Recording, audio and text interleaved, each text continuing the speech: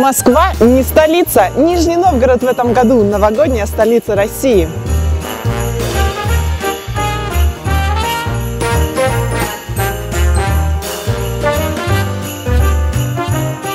Нижний Новгород – город, куда очень красиво приехать зимой. Все в снегу, легкий мороз, Волга подо льдом и величественный Кремль на холме.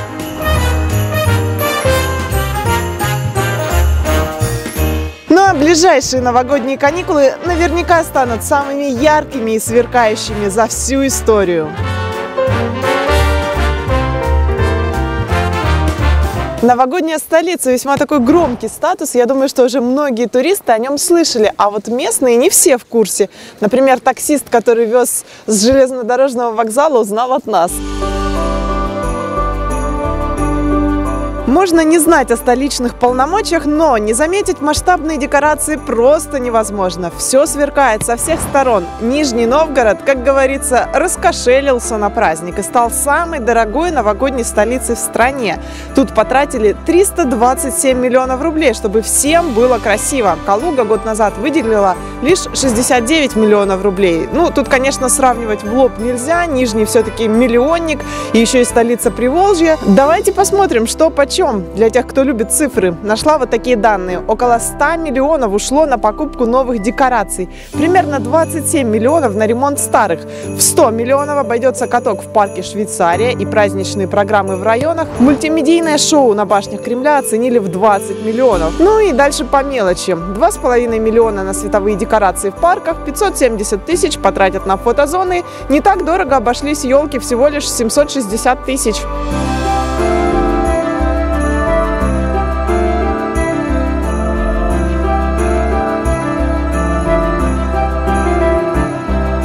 Большая Покровская, главная пешеходная всегда и главная новогодняя сейчас. Самая красивая, наверное, самая яркая. Тут такой потолок из гирлянд, очень красиво украшены магазины и все какие-то рестораны. Тем не менее, пока что увидеть всю красоту в Нижнем Новгороде у нас не получится, потому что основные мероприятия, основной праздник тут начнется 24 декабря. Хотя, как новогодняя столица, город живет с 11 декабря. С Новым годом поздравляю! Счастья, радости желаю.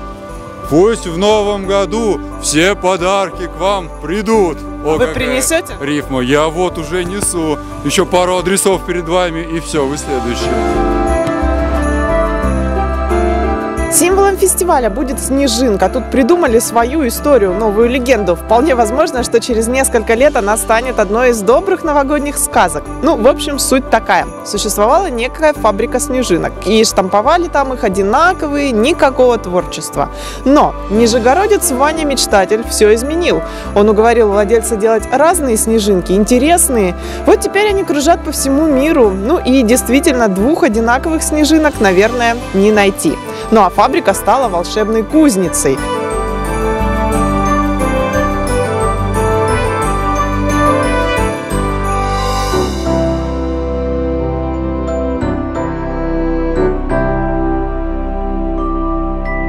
Не зря тут стоит трамвай номер два. Это трамвай, который идет по историческому центру. И если в него сесть, то можно проехать по всем самым красивым местам.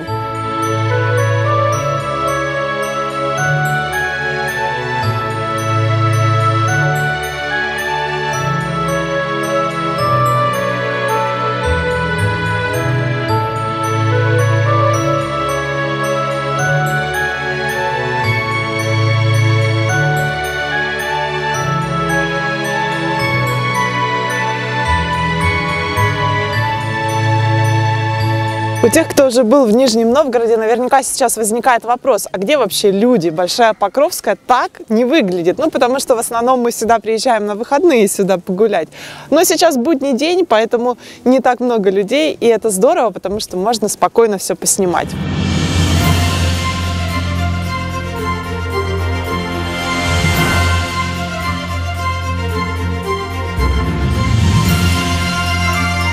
Кремль станет новогодним центром притяжения 29 декабря. Тогда стены башен превратятся в экран для светового шоу, ну и обещают тут интерактивы с актерами, иммерсивное путешествие в ту самую кузницу снежинок.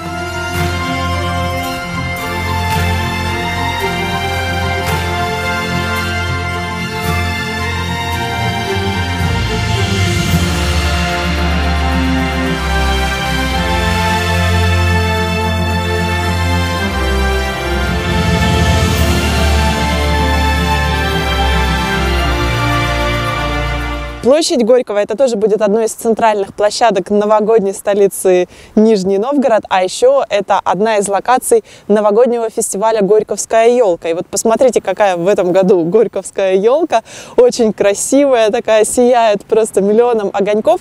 И, кстати, интересно, что вечером, ночью она смотрится гораздо лучше, чем днем, потому что там такой полупрозрачный каркас, за счет чего и создается, видимо, вот этот вот эффект сияния. В общем, смотреть как импрессионистов. Ну, а в целом Горьковская площадь с 25 декабря превратится в ярмарочную. Тут будут различные фестивальные мероприятия. Пока же здесь только воодушевляющие, мотивирующие надписи. Учись у всех, не подражай никому. Талант – это вера в себя, в свою силу и так далее.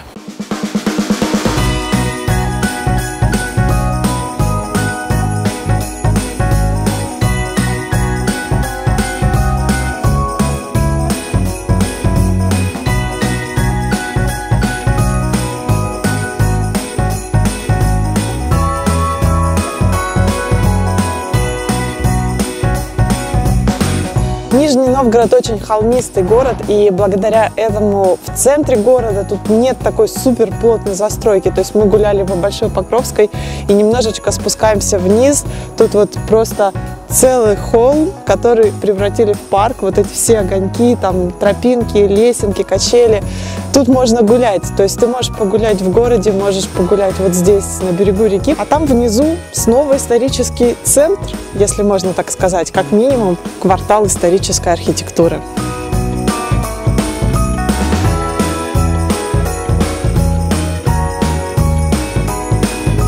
Мы, конечно, давно были в Нижнем Новгороде, еще даже чемпионата мира, и тут очень много всего понастроили и тогда, и теперь в этом году это юбилейный год для города, 800 лет ему. Вот это место, это тоже новое. Смотрите, какая тут штука есть. Это не просто подсвечиваемая линейка, это измеритель качества воздуха. Если датчик не сломан, то воздух экстремально загрязнен.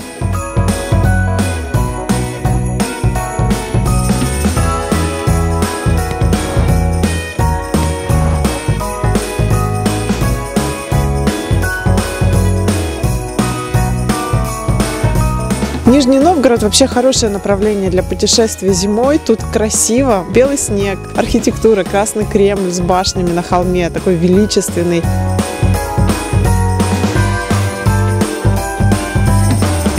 Кажется, что городу очень идут все эти морозные оттенки. Ну и тут есть музеи, галереи, рестораны. В общем, будет где согреться между экскурсиями и фотосессиями. Ну а когда приезжаешь в Нижний Новгород первый раз, то идешь на Большую Покровскую, в Кремль, на Рождественскую.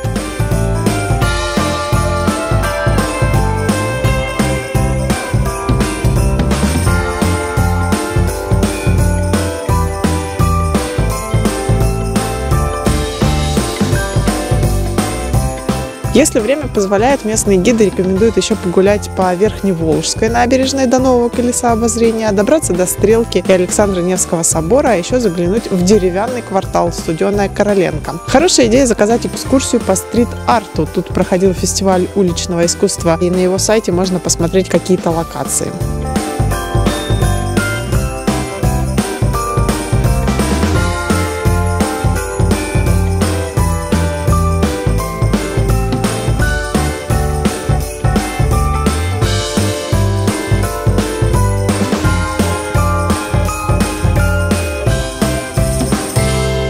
Улица Рождественская, и мы сюда попали уже достаточно поздно. Кажется, что тут жизни нет. На самом деле она тут очень даже и есть, потому что тут много ресторанов, какие-то музеи, тут всегда туристы и экскурсионные группы гуляют.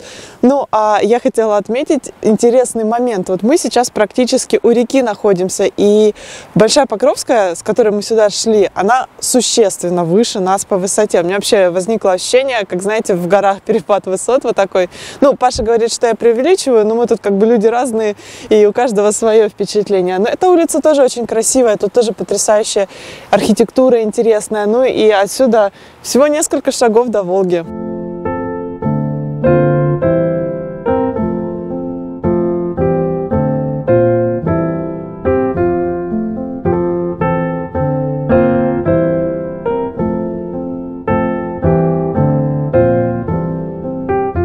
Был в Нижнем Новгороде, если не поднимался по Чкаловской лестнице. Ну что, будем?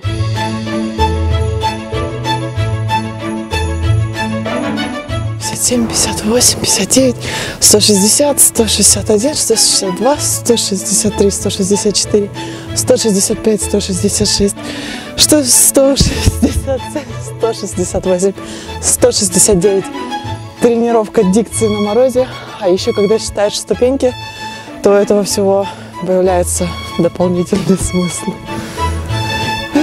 170, 171.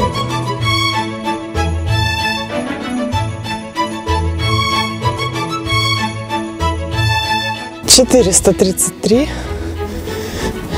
четыреста тридцать четыре, четыреста тридцать пять, тридцать шесть, тридцать семь, четыреста тридцать восемь ступенек мы насчитали. Рассказывайте, сколько получилось у вас. И рассказывайте, гуглили или сами побывали в Нижнем Новгороде. Нижегородская ярмарка – еще один исторический центр города, торговый издавна тут торговали, потому что две крупные реки, и понятно, что привозили разные товары из разных частей страны и даже мира. Ярмарка в Нижнем Новгороде в свое время была самой крупной в Российской империи. Она находилась в разных местах, была когда-то деревянной, ну там временные строения были. И когда случился пожар, все это сгорело, император даже отложил реставрацию и какие-то строительные работы в Зимнем дворце и направил все деньги сюда, чтобы построить новое грандиозное здания. Ну и сейчас тут тоже проходят выставки, приезжают люди со всего мира. Ну а в новогодней столице России Нижегородская ярмарка будет практически Красной площадью. Именно тут основная главная площадка праздника официально откроется 24 декабря и планируется елочный маркет, каток, карусель, музыка, театральные шоу. Конечно же, много вкусной еды и еще резиденция Деда Мороза расположится именно здесь.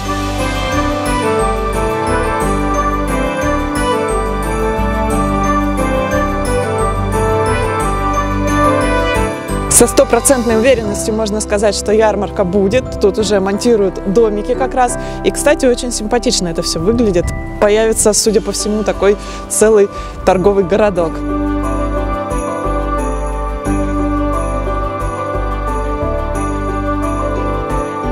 Что я отметила в новогоднем декоре Нижнего Новгорода такого особенного? Тут очень много живых елей, которые украсили, и выглядит это очень здорово. Нижегородская ярмарка станет эпицентром новогодней ночи, причем не только для Нижнего Новгорода, но и для всей страны получается, раз уж Нижний Новгород новогодняя столица России. Ну а тут планируют грандиозное шоу с музыкой, театрализованными представлениями, мастер-классами, всякими активностями и, конечно же, грандиозным фейерверком в полночь.